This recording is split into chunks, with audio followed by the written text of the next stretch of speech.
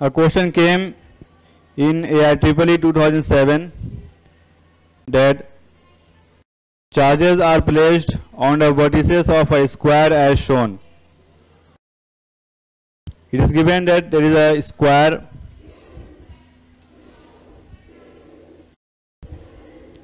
and at each uh, vertex there is a charge like q q and minus q minus q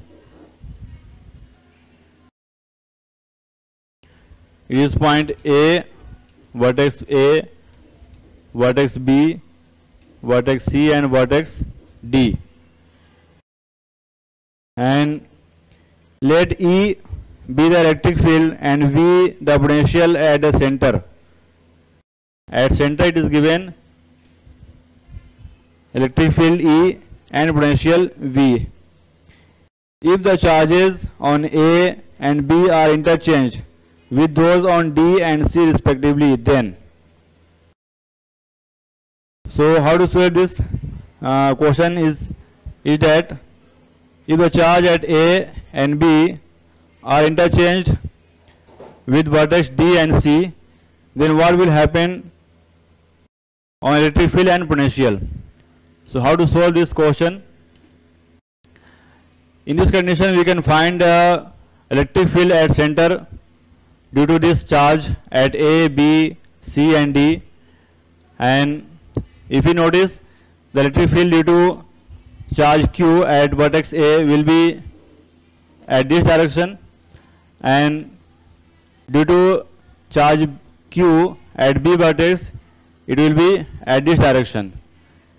And due to minus q charge at d vertex it will be at same direction like this.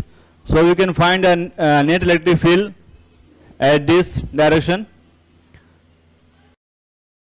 So if we uh, interchange the charges like this here it is minus q and it is q here minus q and q so now electric field will be due to q charge at d will be this direction and due to charge q at c it will be at this direction and due to minus q charge at vertex v it will be this direction and this.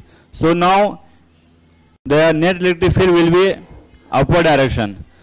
So electric field has changed due to interchange uh, due to interchanging the charges at vertex A, B, C and D.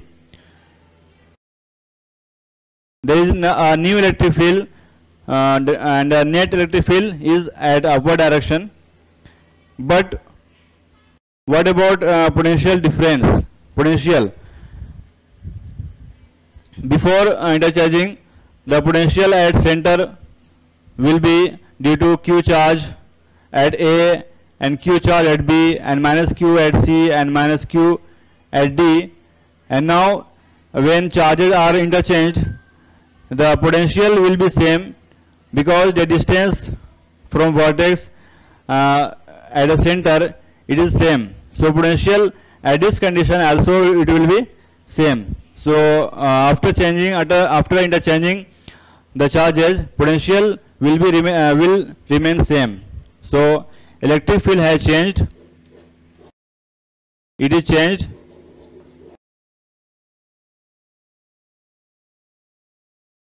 but potential remains same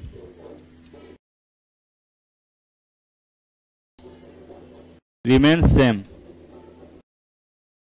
so correct option is D that E changes and V remains unchanged. Correct option is D.